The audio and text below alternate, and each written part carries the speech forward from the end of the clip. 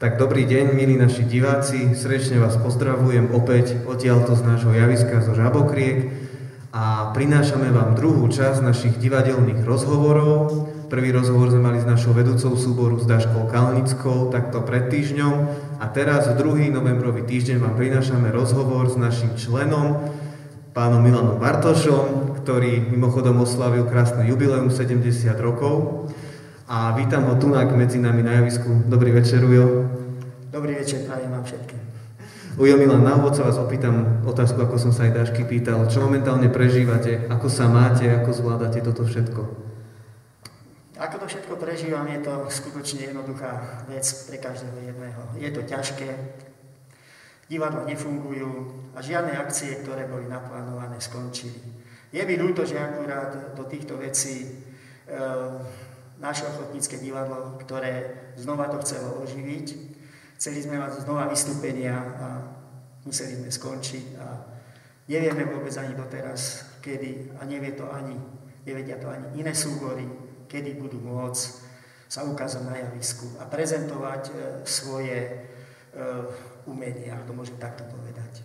A čo prežívate doma? Ha, čo na záhrade? čo prežívam doma?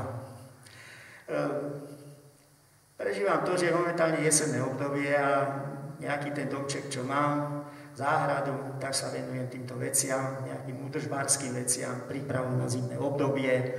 Čiže ja mám čo robiť, v tomto prípade si nesťažujem. Akurát, e, čo mi je ľúto, že mám scénu hotovú a nemám, nemám čo už do tej scény dať, tak sem tam ešte vymýšľam, čo by sa hodilo aj na tie ďalšie predstavenie, alebo stále verím, že znova sa stretneme tu na tomto javisku a budeme môcť e, s našim divadlom vycestovať e, vonku na predstavenia, čiže do okolitých dedín, ktoré sme mali rozplánované. Žiaľ, toto nám všetko ako skončilo. Je nám to veľmi ľúto. No ale doba je taká. Tým, že nehráme, tak nemáme čo likvidovať, nemáme čo ničiť. Takže máte teraz menej, menej roboty. No, je, to, je to pravda, je to pravda, pretože tých pár vystúpení, čo sme mali, e, tak niektoré veci tým prevozom boli poškodené, ja som to sa snažil dať do poriadku, tak aby pokiaľ vybehneme vonku a rátal som s tým, že to bude v čašie, no ale žiaľ, nezrealizovalo sa to. Takže scénu mám v pohode, teším sa a nezabudnem, skoro nevynechám každý jeden deň, aby som sem neprišiel sa pozrieť, či je všetko v poriadku. To vám to chýba. Chýba mi to. Ujo Milan, začneme takým okruhom. Ako ste sa vy dostali vlastne do tohto divadla, k nám do Žabokriek? Ste Žabokrečan? No. Aké boli vaše začiatky? Pamätáte si nejakú napríklad prvú hru, ktorú ste skúšali? Ja som sa dostal k divadlu. Bolo to aj pre mňa takým trochu prekvapením, pretože ja som eh, nikdy nemyslel, že ja budem ako účinkujúci na javisku. Divadlo ako také ma bavilo od detstva, dá sa povedať, som eh, sa zúčastňoval týchto divadelných hier, hlavne v Žabokrekoch samozrejme. A tie pamiatky, ktoré mi ostali v mojej hlave na tieto predstavenia, ťažko na ne zabudnúť. Pretože Určite, ak sme už pri tom spoločnom bilancovaní tu, tém, tomu storočnému jubileu, zaspomínali, že aké chvíle ľudia v tejto dedine prežívali, keď sa e, divadelníci rozhodli pre nejakú hru a v ťažkých podmienkach. Či to bola základná škola vtedy ešte, alebo to bola sála vo svetovej besede, ubernátov. Boli to ťažké doby, no a my sme to ináč ako deti vtedy vnímali a bolo to krásne ináč obdobie, pretože neboli televízie ešte v takom roz, rozmachu, ako sú teraz. Hej, a veškerá táto, čo je teraz technika. A už potom postupne, ak sa začal kultúrny dom stávať, tak som mal takého veľmi dobrého kamaráta, Vladka Laváka, chudák už je napravde Bože, ja, je mi to veľmi ľúto, aj keď si po toľkých rokoch človek na to zaspomína, nie je medzi nami už moc rokov, tak sme si vždycky tak, ako začala táto kultúra rásť, tak sme si vždycky tak, keď už javisko začalo sa tvoriť, vyšli na to javisko ako detská. A sme si tak predstavovali, že či by sme aj my niekedy na tomto javisku mohli stať ako účinkujúci. Jemu sa to nepodarilo, ale mňa... A pamätáte si, kedy to bol prvýkrát, kedy ste skúšali tu na nejaké predstavenie? Alebo za... No, tak ja som, sa, ja som sa k divadlu dostal, dá sa povedať, v 88. roku. E, vtedy nastúpil do miestneho kultúrneho strediska e, pán Ivan Hulej s Jankom Murínom. Pretože po nebohom e, pánovi Ďuríkovi bola trošku taká ako medzera, tak bolo treba nahradiť tohto človeka. No a mňa oslovili, že či by som ako nešiel medzi nich, do miestneho, pracovať ako do miestneho kultúrneho strediska, ktorý vyvíjal rôznu ako činnosť e, v obci a boli tam rôzne, bolo boli tam aj športové, kadejaké to, čo mali, ale ja som dlho ani nerozmýšľal a povedal som, keď, tak pôjdem reku pomáhať divadlu. Takže začal som tom 80 roku pri, e, pri divadle ako takom. Nie ako samozrejme, ale ešte som len pomáhať, e, čo bude potrebné. Ja som sám nevedel, či bude treba kulisy nosiť, alebo, alebo pomáhať e, zostrojiť tie kulisy, alebo čo. Išiel som a nevedel som, čo ma čaká. Čiže ne- nezačali ste v divadle ako herec, ale ako nie. taká pomocná sila, hej? Áno, áno, nie, presne tak, ako hovorí. Ako pomocná sila. A pozorovali ste kolegov, že ktorí A pozoroval som, lebo tam už bola zabehnutá taká, dá sa povedať, e, tí ľudia v tej dobe, to boli e, pre našu obec skutočne páni herci keď môžem takto povedať, ja spomeniem len hviezdu Janka Rumpla, to hviezda. Dokonca Janko, ja som na to pri rozhovore, keď sme mali stretnutie e, s, redaktor, s redaktorkou z Reginy, ja som na to aj trochu pozabudol, ale potom predsa mi to prišlo na rozum, že ten Janko mal pravdu, že účinkoval dokonca v Martinskom divadle na záskok, keď pán Tibor Bogdan mal nejaké zdravotné problémy, tak e, jeho povolali, či by náhodou nešiel do toho. A on išiel do toho. Aká to hra bola, to nie, lebo to bolo skutočne dávno, ja som tedy e, mal iné, dá sa povedať, záujmy, ktorým som sa musel dokonca venovať, musel som to robiť ako, no. E, no takže, či to bol Janko Rumper, alebo to bola Želka Kráľovanská, ďalšia naša hviezda, ktorú aj teraz toľké razy poviem, naša pani Kolníková slovo. Žiaľ, je to tak. Hm, život si ju zobral.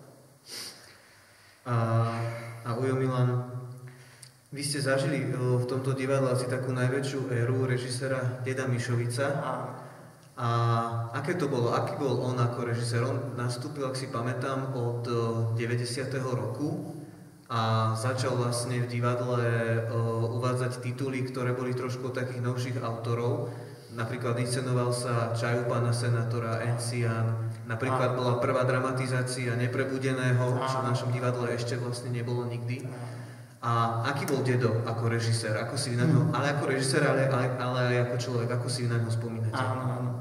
Uh, hneď sa vrátim k tejto otázke, ktorú si mi dal, ale musím sa vrátiť ešte spátky, uh, a to Martinovi Kolesárovi. Čiže vtedy som začal pri pánovi Martinovi Kolesárovi, uh, ktorý naštudoval s našimi hercami, môžem povedať kľudne, hercami jugoslovanského autora Úzor. Čiže tam už som začal trošku chápať a tam som už začal mať také, dá sa povedať, svoje myšlienky, pretože on mi, on povedal, prišiel z návrhma scény, do toho, mu, do toho mu povedali ešte niektorí jeho kamaráti z Martinského divadla, tá scéna, ako by mala vypadať a tak jedno s druhým. No a už tam potom začala tá tvorba tej scény. Nie všetko sa dalo, dá sa povedať, tak, ako mu poradili aj samotnému Martinovi Kolesárovi ako režisérovi tu zrealizovať. Museli sme improvizovať, lebo nie všetky e, tieto boli k dispozícii. Či to boli kulisy, alebo to boli rekvizity, ktoré sa museli niektoré aj robiť a tak ďalej. No, e, po Martinovom odchode, to bolo on jednu sezónu mal ako sám. 89. Áno, potom v 89. prišiel uh, Dedo Mišovic. No a uh, jeho, myslím, prvá hra bola tento Encián. Táto hra. A tam už som išiel, dá sa povedať, uh, do väčšieho, tvorivejšieho tohto, do scény. Ako tam bolo treba zamakať na, tých, na tej scéne pomerne dosť, ale darilo sa nám, scéna sa nám podarila spraviť, e, nie len ako mne, ale dá sa povedať ešte niektorým tým ľuďom, ktorí mi v tejto veci pomáhali. Lebo ešte stále som nejak nevedel o týchto veciach moc.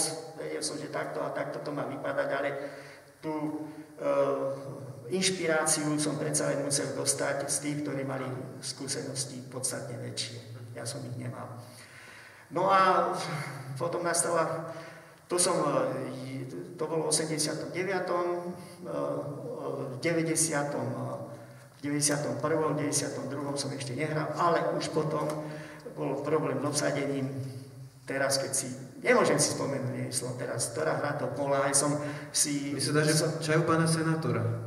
Myslím, že to tam asi bolo, aj som rozmýšľal doma pre pána Jara, som listoval ešte nejakých tých veciach, čo mám doma, nepodarilo sa mi to nájsť No jedným slovom už potom aj e, dedo, ako sme ho nazývali, oslovil, že sa nedá robiť, nebudeš ty tam len e, vzadu za týmto a budeš musieť na javisko ísť. A reku, ja to, dedo, ja to nezvládnem, ja to neviem pre pána Jana. Neboj sa, to, že by si to ty nezvládol, vy ste môj drahý, hlas máš, tak čo? Ako on, ako dedo.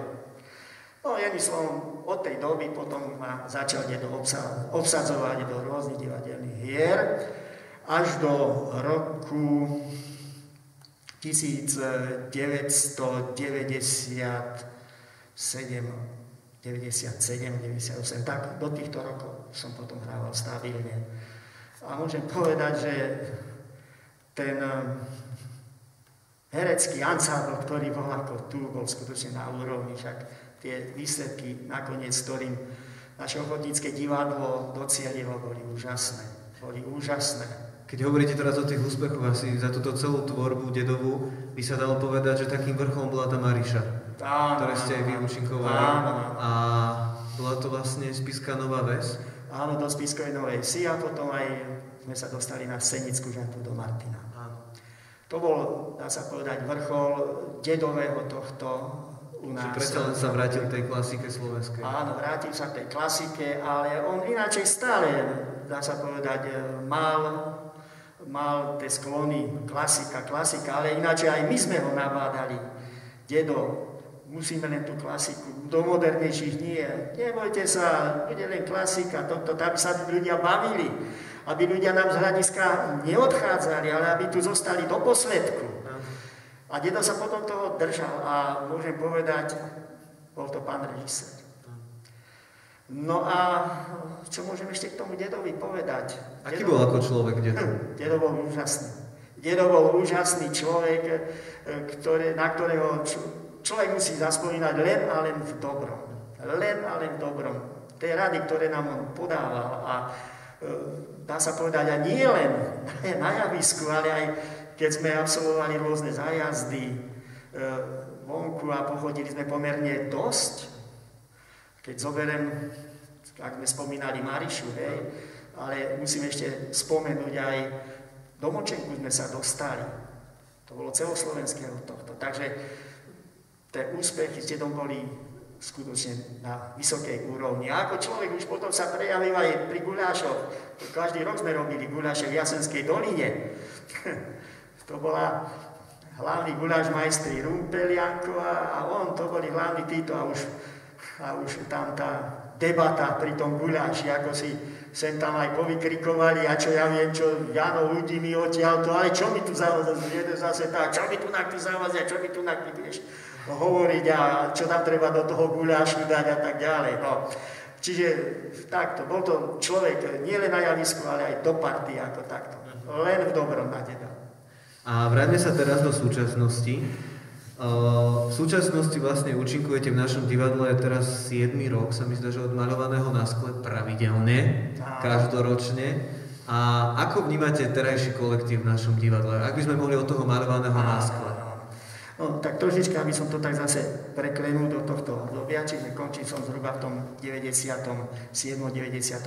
roku z pracovných dôvodov, lebo som menil zamestnanie a tam som sa nemohol angažovať ako do divadla. Bol som z toho nešťastný, ale žiaľ musel som uprednostniť e, finančné, finančné prostriedky, takže e, menil som to zamestnanie ako, a tam sa to tej nedalo jedným slovom. No až e, potom no, v roku 2011, 2011 bol som oslovený, e, že či by som nešiel do divadelného diania znova. A pýtam sa, dobre, no ale do akého? Ako žandár? Že žandára tam treba hrať a toto jedno z druhého. žandára. Dobre, tak reku, pojem toho žandára, len aby tam nebolo veľa textu, aby som si do hlavy, aby sa mi to dostalo. Nebojte sa, ani Miro Polonec ešte vtedy, hej, ten bol za mnou. Neboj sa ty niečo, dobre, ale budem s tebou tam, reku, nie. A nakoniec on odišiel, hej, a Ostal som ale pri dobrom človeku a chlapovi jak hora, Riadkovi Kalnickom. Čiže to bol môj návrat, dá sa povedať, ak to môžem takto povedať. Môj návrat na divadelné dosky. Ktorý ste vlastne 47 rokov, 47 repríz odohrali. Áno, áno, áno. Čo nikto ani nečakal. Áno, áno, to bolo úžasné niečo. To boli krásne, krásne tieto. A e, roky, dá sa povedať, aj teraz sú krásne roky, môžem aj teraz sú krásne roky. To, čo sa deje u nás v Žabokreckom divadle, skutočne, uh, nejdem to nejako nadsadzovať, ale nám môžu zavidieť ostatné divadelné súbory. Pretože u nás to obdobie pokračuje ďalej divadelné. Ale vzhľadom na to, že si to zobral Martin Ty. Skutočne, to je celková zásluha všetkých nás. E, pretože v tom období, dajme tomu, keď divadlo u nás malo nejakú tú pauzu, sa nedarilo zohnať e, e, režiséra do žabokriek. Niekto prišiel, odišiel a tak ďalej a človek potom nevedel čo a nakoniec ste to chytili aj pri tom maľovanom náskle, bez režiséra, bez akýchkoľvek týchto ste to chytili Daška, ty, Pálko Fabro a tak ďalej a spravili ste skutočne maľované na skle, skutočne maľované. 47 repríz, to je málo ktorému divadelnému súboru sa to podarilo. A ak by som ešte tento, túto súčasnosť trošku uzavrel, tak ja môžem zase povedať, že som veľmi rád, že každý rok, keď, vám, keď vás oslovím, že mám pre vás postavu a veľakrát to bolo, že som aj napísal postavu, ako bola rozkošná pána, alebo láska za pár drobných, alebo rodinné nezhody, kde ste zažiarili ako poštár, tak e, som veľmi rád, že ste išli do tohto a keď som aj ja prinášal trošku novšie, novšie hry, novšie témy, že ste nemali ako starší taký vycibrený divadelník, že ste nemali námietky a týmto sa chcel aj poďakovať, že ste mi vždy dali takú dôveru a že ste ma podporovali a že ste mi nedávali kolena pod nohy, ale že ste mi boli napomocní. E, Martin, takto ja ti skutočne ďakujem. Ja ti ďakujem E, lebo ja neviem, čo by som aj teraz doma robil. Ako som ostal na dôchodku, čo by som asi, asi robil, len na, tej záhrade a koniec a keď sú dlhé zimné večery, čo potom, čo teraz a tak ďalej. A toto je pre mňa a skutočne v tomto mladom kolektíve ja sa veľmi, a v dobrom kolektíve, ja sa veľmi dobre cítim. Cítim sa tak, ako keby som nemal 70 rokov.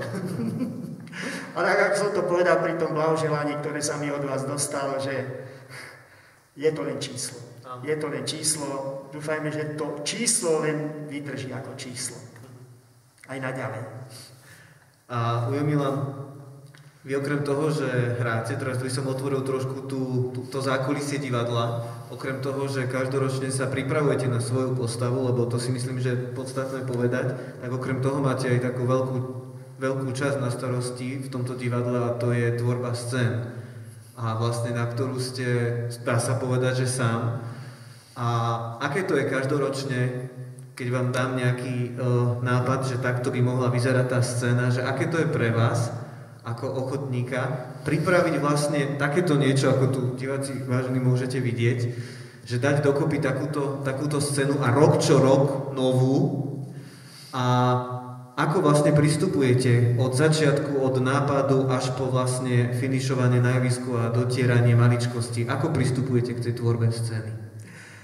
No, tak aby som pravdu povedal, a ja som to nespomenul, scény a okolo scény, rekvizity a tak ďalej sa stalo môjim koničkom. Vyslovene môjim koničkom a ja e, sa snažím, pokiaľ dostanem aj od niekoho ten návrh, či už od teba, alebo nám príde pomôcť nejakýma e, náčrtmi Vilko Hriadel z Martinského divadla, e, ktorý však je profesionálny herec, síce už na dôchodku, ale skutočne je to pán herec, e, keď dá nejakú skícu na tom, že čo tá hra v tej hre, tá scéna, ako by mala vypadať, hej. E, nie všetko sa dá tak spraviť. My sme amatéri, hej, on to bere trošička z iného pohľadu, ale musíme vychádzať z toho materiálu, ktorého, ktorý máme my tu u nás doma. Ale zatiaľ sa nám ešte nestalo, pokiaľ taký návrh aj prišiel, že by sme ten návrh zamietli a išli si vlastným týmto. Snažíme sa len v inakšom tomto, e, v inakšom smere to tú scénu udržať tak, ako bola navrhnutá. Lebo to sú profe, profesionálni títo scenáristi, dajme tomu. No a to už potom ide všetko postupne. Scéna, keď sa postaví, keď dostane veľaký, veľakú skícu na to, scéna sa postaví a už potom sa to všetko nabalí. Ešte toto tam, ešte toto tam, ešte toto tam. Ja ináč, ja by som pravdu povedal, ja hodne inklinujem k starým veciam. Starým veciam, čiže ako divadelník tej klasike skôr sa prikláňam. Ale vôbec e, nezavrhnem ani e, divadelné hry, ktoré sú s moderným poňatím, ako začínaš ty trochu presadzovať tieto v našom ochotníckom divadle. Hlavne ide o to, že keď je to aj modernejšieho charakteru, ale ten divák skutočne, aby e, sa zabával, aby mal z toho dobrý pocit. A práve preto aj pri tvorbe scény sa snažím tak, aby ten divák, keď sa javisko otvorí, opona, tak som, pardon, chcel som tak povedať, keď sa opona otvorí, aby ten divák e, bol zaujatý to scénou takisto. Aby tam nevidel len čiernu plachtu za sebou a znova môžem opakovať 4 stoličky na javisku a nejaké pohyby tam týchto hercov. Neviem, náš dedinský divák možno by na to inakšie reagoval. A možno tí naši diváci sú na toto, dá sa povedať, naučení, zvyknutí. Tak, zvyknutí. A nakoniec ešte aj tí, ktorí cespolní, ktorí k nám chodia, a nie je ich málo, ktorí prídu sem do nášho kultúrneho domu a povedia, nadšenie, bolo to krásne, scéna, vedia pochváliť, človeku až tak dobre padne. Mne sa toto veľmi páči, Milan, že tie scény každoročne že, že sú také plné, lbo niektorí modernejší teraz scenografii to riešia skorej, že nech na javisku vynikne ten herec a nie tá scéna, že čo na javisku, čo na javisku sa nepoužíva, alebo čo na javisku ne, ne, nepomáha hercovi, že dajte preč. Ale práve, že mne sa tu páči, lebo že už len ten pocit, keď si pamätám, že keď sa tu na Richtárke otvorila tá scéna a my vlastne keď tu stojíme na začiatku, a vidíme vlastne tých divákov pred sebou a tie rozžiarené oči tých ľudí, že vlastne tu sa otvoril nejaký život, že tu na, e, že veľa ľudí nám povedalo, že tu, tu bola normálne dedina, že, a popri tom tie domy z druhej strany sú úplne, že nedá sa povedať, že to vyzerá ako dom, ale že to je nejaká zrúcanina. Že mne sa to, toto páči, že každý rok, že pripravíte tú scénu tak, že vlastne nádherná, či už je to bola uh, letušky, súčasná hra, či už to bola Lysistrata, antická, kde sme museli improvizovať, ale že každý rok sa fakt snažíte do detailu, do detailu, a to musím vážení diváci povedať, lebo my sme si to všimli pri Láske za pár drobných, kde každú reprízu, a mali sme ak si teraz dobre pamätám, 18 repríz, každú jednu reprízu na javisku niečo pribudlo. Žiaľ, no pri tejto Richtárke sme tu možnosť ešte nemali, keďže sme hrali iba 5 krát, ale už som si aj teraz všimol za sebou, že máme tu nejaké e, kukurice, cesnak, že nám tu niečo pribúda, samozrejme v dobrom len prospech, ale naozaj Ujo Milan je v tomto odborník, že, že že každú tú reprízu niečo tu donesie na toto javisko, čo je veľmi, veľmi úžasné, že vlastne nám to tu obohacuje takto. Takže my si to všímame a keď nakladáme scénu, že vlastne máme nejaké nové veci, ktoré sme nevedeli a vykladáme scénu, že toto je na čo a že budeme, to tam má byť, tak už vieme, že...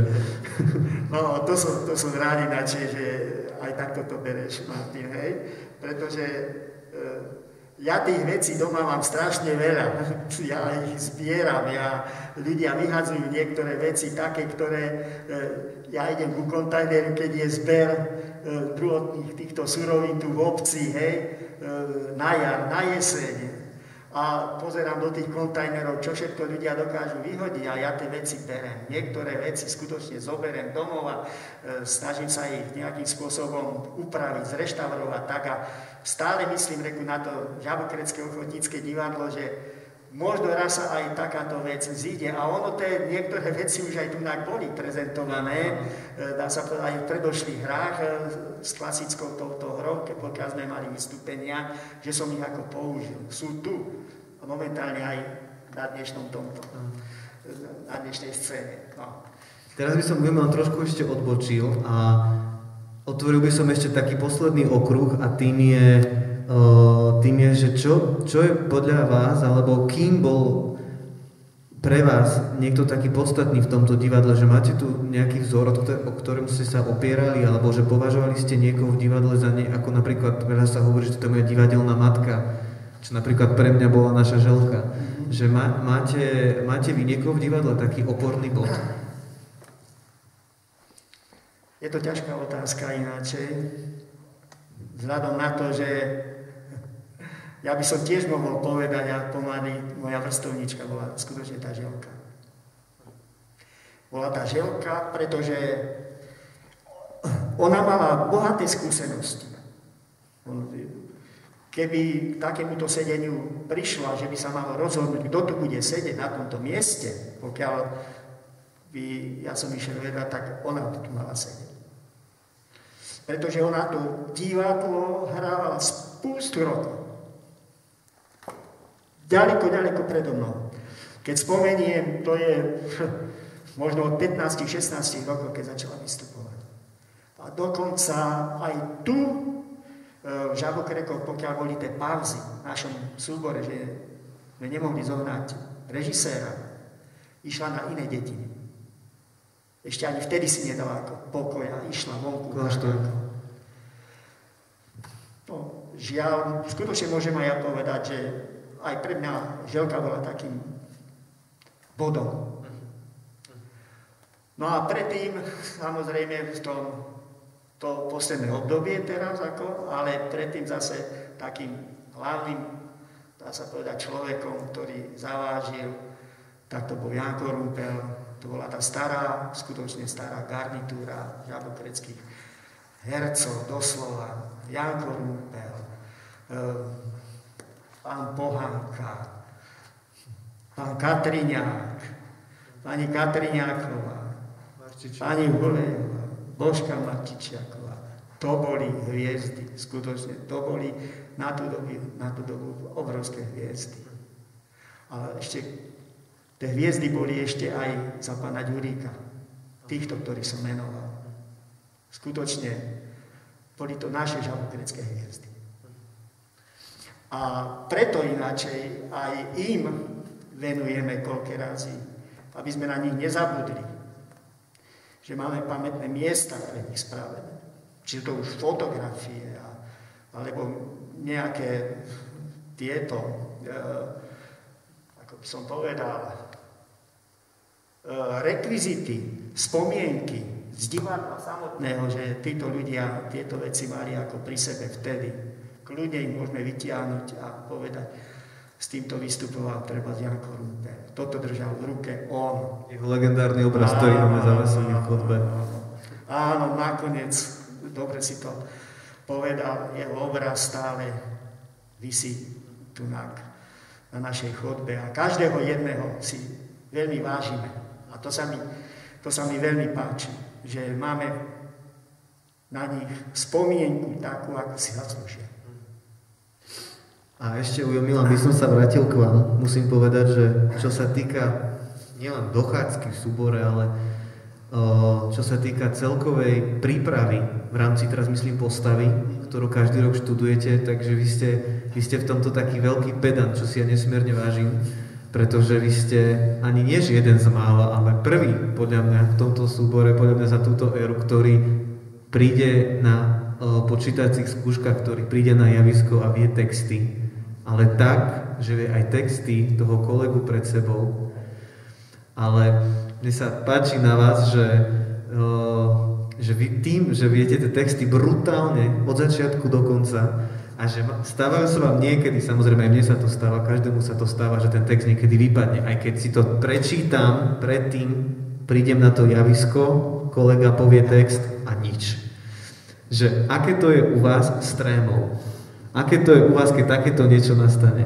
Lebo to je veľmi zaujímavé pozorovať. Martin, to máš takto. Ešte za deda Mišovica, profesionálneho herca, ktorý nám vždycky hovorí, ak vám z textu čosi vypadne, musíte ísť ďalej. Nesmiete zastať. Ale nie, že si budete vymýšľať hlúposti, ale takto musíte spraviť, aby ten, na, v tej hre to nebolo ako cítiť, aby vidieť. To musí mať plynulosť tohto. Ono je to niekedy veľmi ťažko. My sme tiež ľudia, my sme tiež ochotníci, dá sa povedať. Človek vie ten text. Teraz ho budem hovoriť a za chvíľočku e, príde nejaké odreagovanie sa a text úplne od... Samozrejme, že sa mi to stalo. Stalo a nie raz, dá sa povedať. Posledne, keď si spomeniem na vystúpenie v Sklabini. Tam sa veľmi zle cítil ináčej, ale neviem, čo sa stalo, čo nie, ale mal som tam veľký problém. Ako. Uh, ono je to tak, že nechcem sa ako vyhovárať, ale keď prídeme na tú dedinu, kde máme vystupovať, človek si musí spraviť poriadky v určitých veciach, hej, pri stávaní tej scény, beháme tam, chodíme tam jedno s druhým, čo si niekde aj pozabudneme, chýba to. Čiže je tam určité psychické ako vypätie. Odreagovanie sa doslova, ak môžem takto povedať, od toho, čo ma čaká. No a tam sa mi to skutočne prihodilo a dá sa povedať, e, nebolo to tak, ako by, ako by som si to bol prial, treba za ja, možno aj vy na javisku. No ale žiaľ, stalo sa to, u mňa je tá nevýhoda taká, že ten, ja nevnímam nikoho, darmo mne bude niekto šepkať, že to, alebo to, alebo takto. Nie, nie, nie, nie, nie. Ja ostanem hluchý, doslova, ostanem hluchý a potom ma čo si napadne a idem ďalej. Ale nedarí sa mi vnímať toho, kto ten sleduje ten text. No, dostanem takú, ak sa povie, čiernu dieru, alebo okno, alebo už akýmkoľvek spôsobom. No. Ale to máme asi viacerí, toto u Milana, aj, aj naša želka to tiež mávala, ale tá tiež vždy zapotila niečo, aby bola, aby bola v obraze. Áno, áno. A samozrejme, je to každopádne aj s vekom, je to naučiť sa hodinu a pol stranovú hru je tiež, je to tiež veľký, veľký kus cesty. Áno. Takže stáva sa to potom človeka, to dá sa povedať možno aj niekoľko, mňa aspoň niekoľko dní to máta, doslova ma to máta, že ako som sa to mohlo stať, pretože ja ten text viem, ja ho viem. Ja Vy ho si to potom odrapkať. strašne pripúšťate. Viem ho odrábkať, viem ho to jedno s druhým, no ale žiaľ, prišla taká, príde taká, taká chvíľa, taká táto, že človek na to nejak pozabudne a nie ani mu ten text naskočí. Áno, a to je, že, že keď počujete toho šepkára, tak už nič. Viete, že aj čo hovorí, ale už to nejde. takže stáva sa mi to, samozrejme sa mi to stáva. Som len amatér. Mhm. A preto ináč aj pre, pre budúcnosť e, treba rád si zahrám, rád budem tvoriť aj scénu. Ale to už bude záležať len na tebe, či ma do tej hry obsadíš, či budeš veriť, samozrejme, a mhm. A či to spoločne dáme. Čiže povedal som pravdu, Áno. povedal som pravdu, že žiaľ aj takéto veci sa mi stávajú. Áno, je to samozrejme prírodzené. A u Milan takou poslednou otázkou je, že ako hodnotíte teraz, vy ste vlastne v súbore už nám stal najstarší momentálne, teraz v tomto činnom, že ako hodnotíte mladších kolegov, ktorí sú momentálne v súbore? Keď vlastne začína ako keby ďalšia táto generácia nových hercov, ako to vy vnímate? Ako to vnímam ja?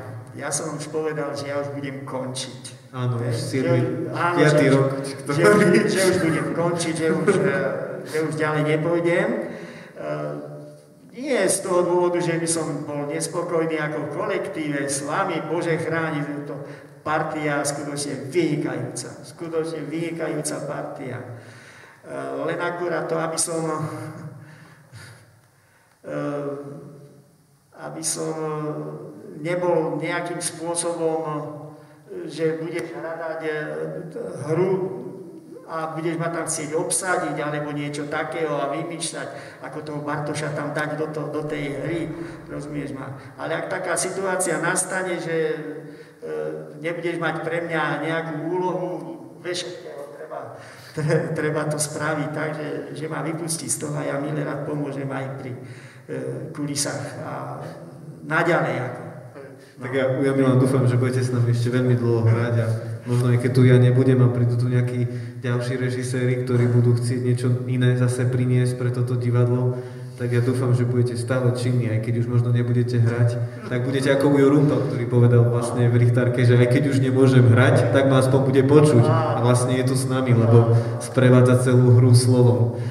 Takže... Ale, ale pokiaľ hovorím, ja som akože povedal, ale prišiel som domov a zase si to premietnem v hlave a hovorím, že ja to nemôžem opustiť, to javisko. Ja nemôžem e, ísť na tento a to, to mi ani nedá. A práve preto hovorím, že aj cez túto koronu, není dňa, aby som sem neprišiel sa pozrieť, aby som nešiel do našej šatne, do našej, do našej miestnosti, kde začíname s čítačkami a tak ďalej a pokračujeme. E, jedným slovom, žijem a stále som tu v tejto kultúre, lebo už fakticky ani nič iného nemám. Tá rodina a tak ďalej a to je fakticky všetko. Tak dúfam, Mila, že on to vydrží naďalej a že budete takýto akční, ako ste doteraz. A dovolte by som sa teda poďakoval, že ste našli si čas, že sme spravili túto, túto druhú časť divadelných rozhovorov. A na záver by som e, samozrejme chcel poďakovať aj vám, milí diváci, že ste si pozreli túto našu ďalšiu časť a Chcel by som ešte Milan, že či máte niečo, čo by ste chceli odkázať našim divákom v momentálnej situácii, ktorá vládne na, na našom území, ktorá není prajná samozrejme ani nám ako divadelníkom, ale myslím, že není prajná nikomu, čo sa týka ani zdravotníctva, ani školstva. A či máte nejaké možno kredo, ktorým sa, alebo nejaké moto, ktorým sa držíte, ktorého sa riadite, alebo niečo v tomto zmysle, či by ste chceli niečo odkázať našim divákom, našim fanúšikom. Čo by som chcel odkázať našim divákom, fanúšikom? Samozrejme, aby nezabudli na nás. Že po tomto všetkom, keď to prebehne, aby sme sa mohli tu stretnúť a nejakým spôsobom dať najavo, že už to máme za sebou.